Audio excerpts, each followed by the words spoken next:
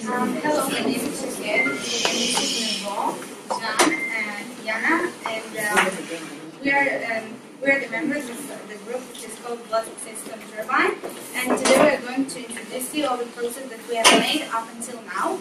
So our main topic is um, is off-grid system in human uh, physiology, and uh, we focused on um, we focused on blood system turbine for charging battery.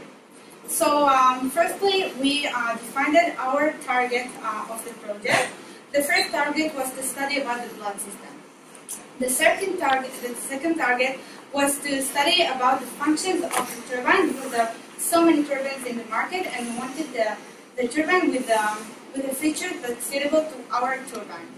Uh, the third um, target was to make uh, a design for our blood uh, turbine according to the feature that we wanted and uh, according to the studies that uh, we had made. And the final one is the function, the, func the functional uh, usage um, that, we, that we will talk about it later. So, like my colleague Shaked said, first of, first of all, we need to study blood system in general. Why? Because uh, blood, uh, blood, in blood system, there are conditions that directly influences on the our turbine system. So, blood system is divided into circuits, pulmonary and systemic circuits. So, we use a systemic circuit, more specifically, the aorta vessel in it. But that's not enough. We need a little smaller area because not all of the parts in aorta have the same conditions.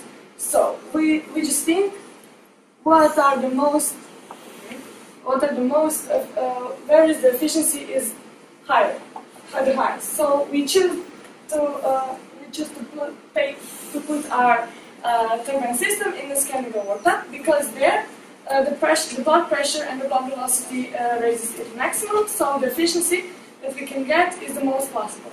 These are the rest of the variables, the components that are directly influences the, our blood turbine system. This, so this is that area. And uh, this is the, uh, the last variable that is needed to know of where to put our turbine. So it's the effectiveness of blood. This is the equation for calculation. Uh, so these two variables are already being measured. They're known and there, were, there was no need to measure them again.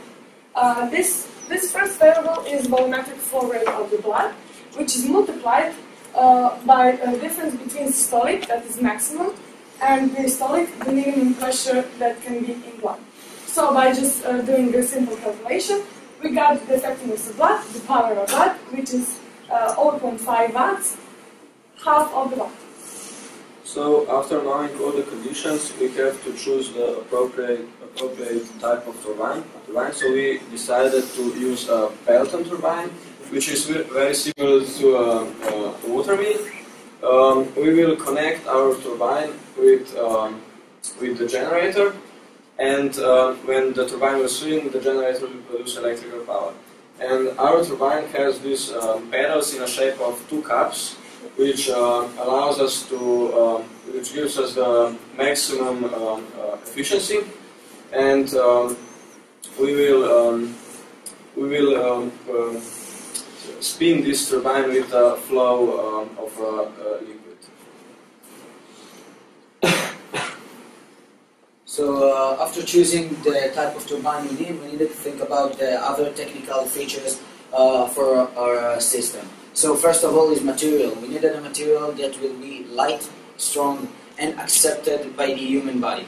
So uh, we chose titanium grade 2, which is light, strong, and uh, usually and commonly used in the medical industry for prosthesis and many other uses.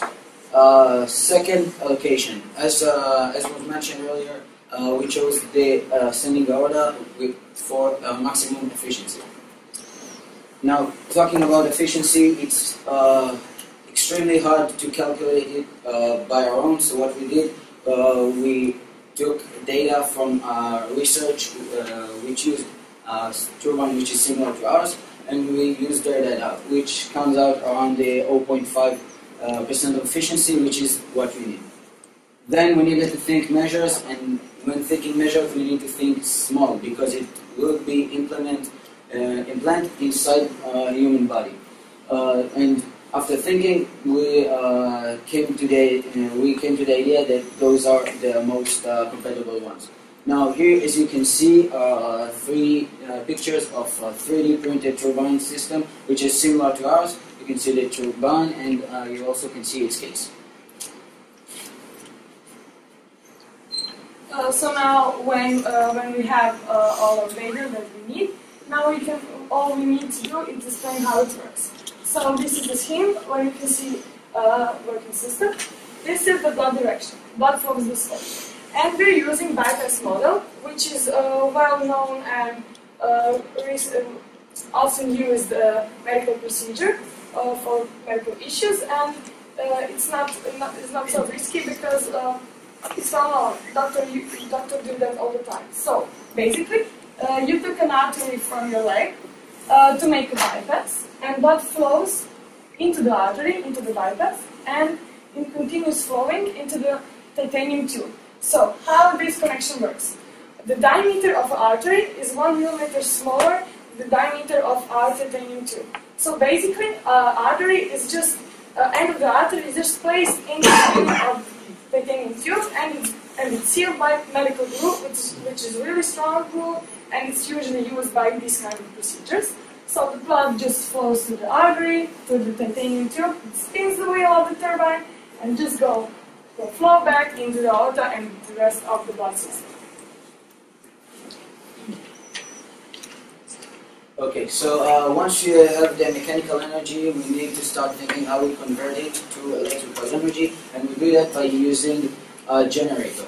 Now, um, many devices this small in the medical industry use DC current, so we needed a DC generator. Now, any motor can use this as a generator if used right. So we took a small, so we found a small DC generator uh, that uh, is suitable for our needs. Now there is one uh, problem that we had to face, and it's uh, that blood doesn't flow uh, constantly; it comes in pulses. So there will be pulses of electricity, and we need to convert it into constant flow of, uh, um, of electricity. So we use the capacitor to, to do that, and it also solves the problem the problem of uh, battery overloading. So what to do with this energy? Uh, we focused on charging a battery in a pacemaker with energy because um, pacemaker requires only 10 um, microwatts of uh, electrical power and our uh, system produces enough. Uh, well, pacemaker is a device that simulates the heart and it's uh, used uh, by over uh, 3 million people. Uh, so um, we would connect our device, uh, our generator, um, to the capacitor and then to the battery of the um, of the pacemaker with uh, nanowires that are made from zinc oxide that uh, has been already um, tested um, in different um, projects.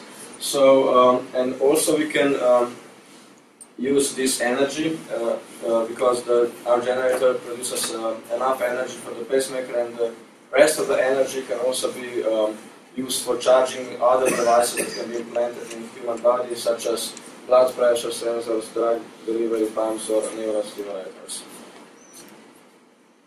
Okay, so pacemaker batteries should be replaced um, between 4 to 15 years, but uh, in our system, in our device, it shouldn't be replaced at all because the battery it, it, it is uh, constantly charged, and uh, therefore there is no need to go through um, uh, multiple surgeries, and um, the life of the users of the pacemaker is uh, it's like improved, improved. And uh, to sum up all our work, um, uh, the, we use the blood flow in order to spin the turbine. By that, we get electricity, and um, there is no need to uh, replace the battery because it is, it is constantly charged, and uh, the life are improved for uh, all the pacemaker users. Um, and uh, now we are talking about uh, the price of, of our device. So um, our device is very efficient and profitable. Uh, we're talking about uh, one, 120 um, dollars, and uh, this is very small amount of money for what you get. You're getting like your life is getting better, and you're just uh, and it's your life is improved. Wait, wait, wait, wait. Uh, for, for the last time, we want to just to thank all of the all of the people that helped us, uh, our mentors that constantly advise us, and uh, the whole organization who actually invited us to, uh, and they give us the opportunity to make our project. And the last one is this: we we need to focus on this thought. The real energy. We don't need uh, outside uh, source of energy. The real energy is just in our heart, in our souls. So this is the last one.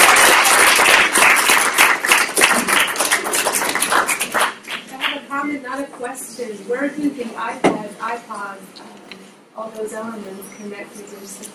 לדבר חזק, speak loud. Not, not loud enough? Where are the iPads, iPods, and all those uh, music elements that are going to connect to your system? That's the future. That's, that's like the future. In That's the, a uh, smart person. Yeah, it's a spin up. Yeah, because the amount of energy we produce is not enough to charge a mobile phone, but it's really useful because if we're talking off grid, the people, uh, the people who have um, issues, they have a pacemaker, and then if, they live far away from hospital, they will need constantly going on checks to change battery. That's that's surgery. And by putting a turbine into their system, uh, that's a procedure that will be do the surgery uh, putting a turbine and putting a pacemaker, pacemaker will be do, doing the same time. Uh, they just need to go on um, not so often, so, not so often into hospital. Uh, so it's profitable for them because they're live far away from hospital. Uh, we can also measure the blood pressure and uh, the gluten in our blood, and we can use it for many other. Um, Medical purposes.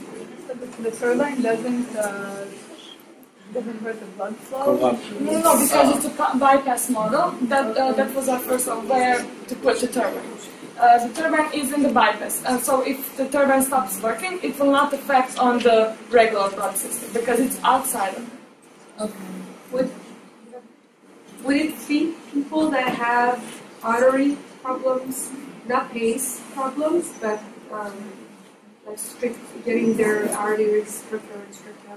Uh, Am I yes, cholesterol or something?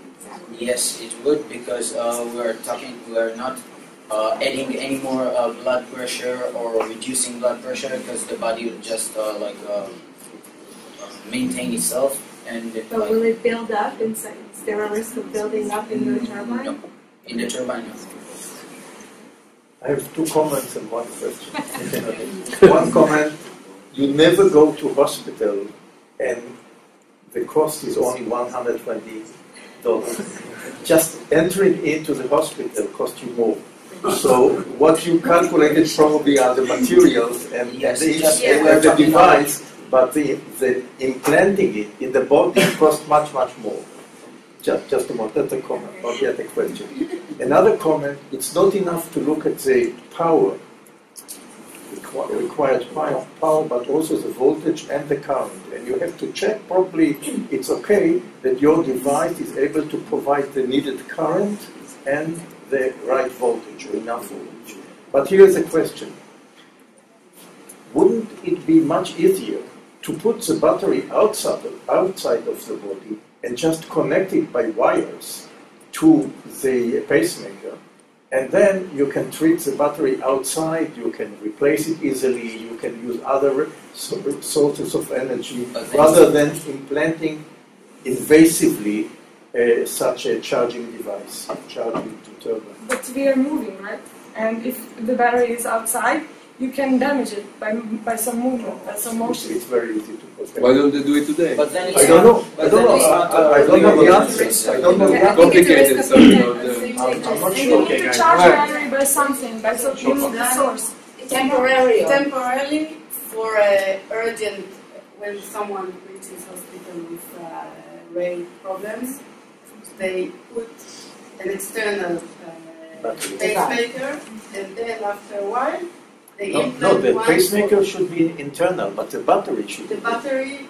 And then you'll have wires coming out of your body. Yeah. It- And it's much Okay, more right. you need to charge comfortable. with something, and the, the turbine is a source of energy. If it's in the inside, you don't have a source. How will we walk with a bikini? Okay, guys, can- can you go to slide eight, please? Okay, how, how can you guarantee that the blood will, will flow through the through the members? Uh, because that's a specific fluid, because we need to um, fill all the empty spaces. Because that, that's just a characteristic of fluids in general. It fills a lot of these spaces, and pulses doesn't move uh, only in, uh, One in one direction. in one direction. It it uh, it will go uh, inside the, the uh, bypass and uh, move the tube. Thank you very much.